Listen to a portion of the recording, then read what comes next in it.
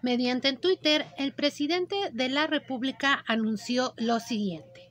Agradecido de todo corazón el apoyo de Olga Sánchez Cordero, quien nos ayudó como secretaria de Gobernación, mi amigo, paisano y compañero entrañable, Adán Augusto López Hernández, previa solicitud de licencia como gobernador de Tabasco, será el nuevo secretario de Gobernación. A continuación vamos a escuchar el video que subió en su cuenta de Twitter.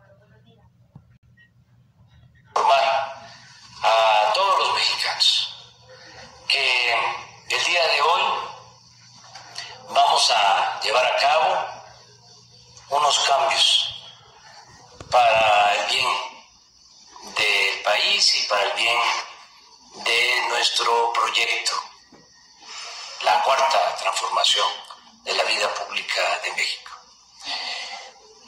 La licenciada Olga Sánchez Cordero, cuando la invité a participar en este proceso de transformación, me dijo que su sueño era llegar al Senado y por eso la propusimos para ser senadora de la República.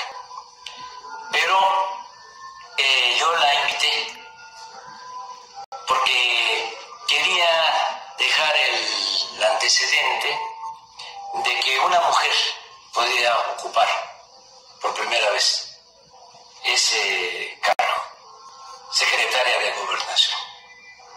Y me ha ayudado mucho, mucho, mucho, mucho.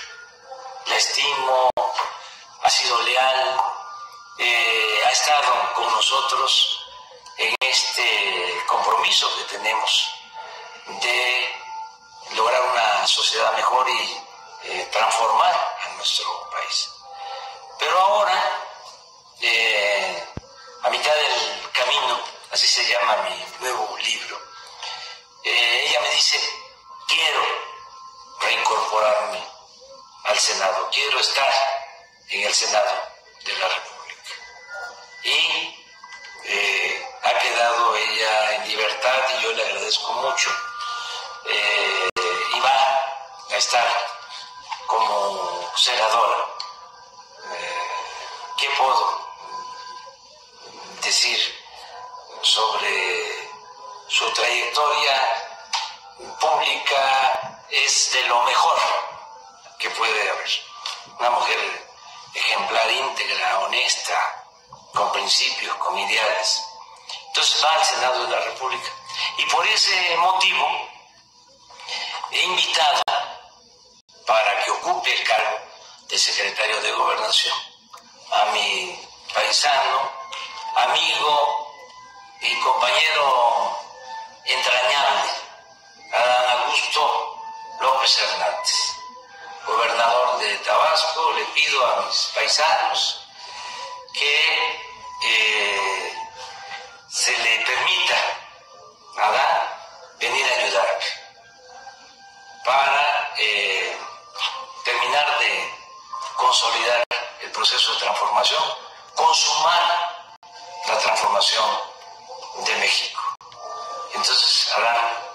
ser el próximo secretario de gobernación. Eh, es para mí muy satisfactorio poder hacer este anuncio. ¿Cómo ves, Bueno, señor presidente, yo quería hacerle patente mi agradecimiento, mi agradecimiento profundo por haberme dado la oportunidad de ocupar la titularidad de la Secretaría de Gobernación.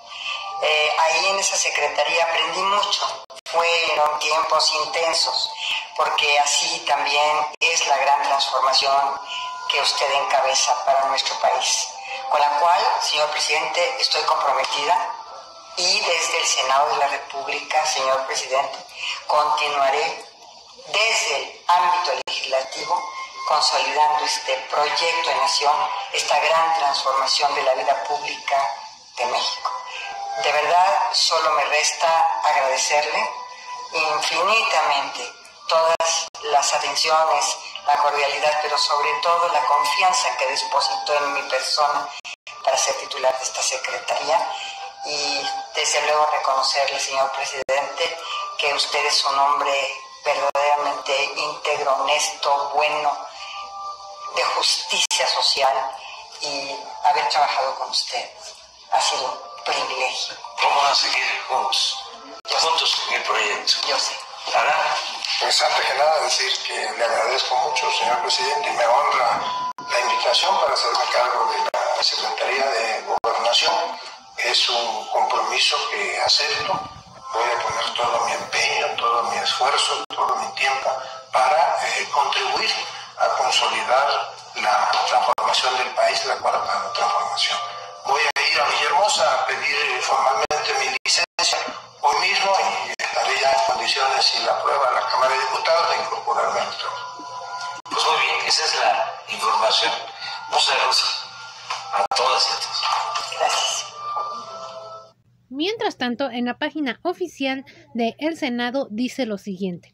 Olga Sánchez Cordero se incorporará al Senado. El presidente de la Junta de Coordinación Política, Ricardo Monreal, informa de la solicitud de la legisladora Olga Sánchez Cordero. Y esto es lo que dice el La video. doctora Olga Sánchez Cordero presentó su solicitud de reincorporación como senadora propietaria, lo cual de acuerdo con la ley tiene ese derecho y le damos la bienvenida.